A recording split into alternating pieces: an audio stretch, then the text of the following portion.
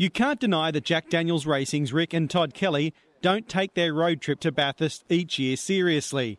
Not only did they don the safari suits, they also stepped aboard a 70s styled Nissan Patrol G60, the first motor vehicle to successfully cross the Simpson Desert.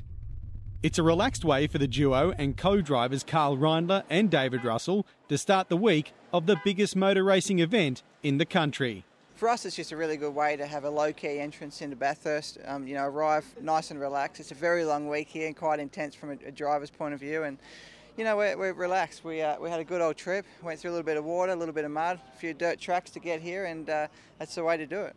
Driving a piece of Nissan automotive history to Bathurst is a prelude to a milestone event. In an event that's got so much history and, and, and can have a lot of pressure, uh, to come here and perform. It's really a good lead up to have a little bit of relaxed time with your co-drivers and, uh, and a good trip on the way up. Riding alongside was the latest version of the Patrol, a car that shares the heartbeat of the Altima race car. It would have been quite handy to have the uh, the current Nissan Patrol engine in that old girl there. It would have been a bit of a weapon. But yeah, the, the new Nissan Patrol has uh, the exact same engine, the same block in the cylinder head as what we run in the race car. So uh, it'll be a pretty big achievement to have all four cars running around the track and hopefully doing some pretty good times with a road car based engine.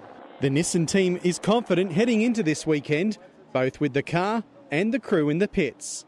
The Nissan Altima handles extremely well, mid to high speed, and Bathurst as well has got a lot of that. So there's some positives there for us. And looking at the replay from Sandown, a lot of drivers made a lot of mistakes out there. And uh, for us this weekend, we want to steer clear of the mistakes and try and capitalise on those. And if we do that, we can definitely get a you know a good top 10, top 5 solid result from, from here. Build up to this year's great race will continue ahead of Thursday practice.